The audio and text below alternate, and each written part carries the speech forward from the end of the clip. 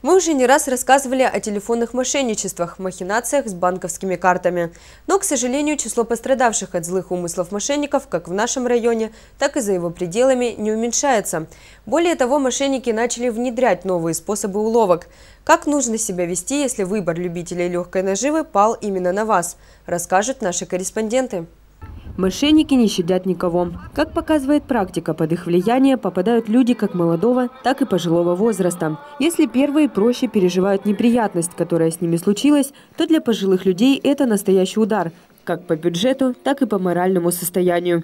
Так, герой нашего сюжета Александр Кравченко, пенсионер, сам не понимает, как он с такой легкостью отдал в руки злоумышленников денежные средства. Позвонил звонок как вы сейчас этот. И я выхожу, стоит женщина, открываю калитку. Она говорит, я пронесла вам пенсию, к пенсии добавка, которая вам по тысяче рублей государство начислило. И я говорю, ну заходите в комнату. Завел ее сюда, она села за стол, достает мне большая сумка черная, открывает, там денег много. Я поверил потому что много денег. Ага. Она говорит, у меня только по пять тысяч, все. А вам две тысячи надо. Вот вы мне, я вам пять даю, а вы мне три сдачи дайте. И все. Как оказалось, деньги были фальшивыми, но Александр Иванович заметил это слишком поздно. Я выскакиваю за ней, а ее уже нету.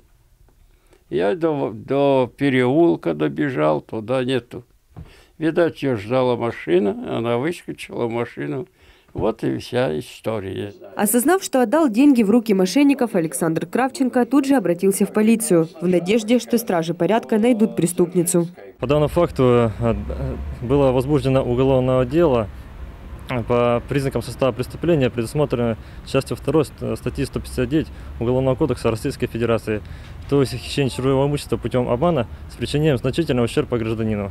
В настоящее время производится комплекс следственных действий и оперативно-розыскных мероприятий, направленных на установленное лица, совершившего данное преступление.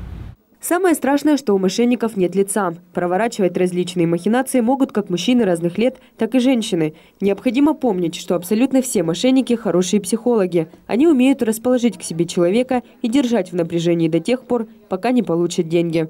В отдел МВД по Славянскому району довольно часто поступают заявления от граждан, которые стали жертвами подобных махинаций. Оградиться от такой напасти в первую очередь могут помочь внимательность и здравомыслие.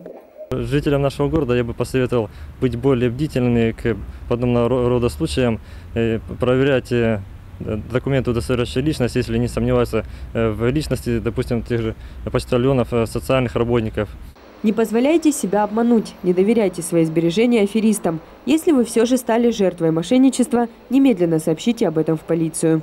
Тина Копачевская, Игорь Ванчугов. Программа «События».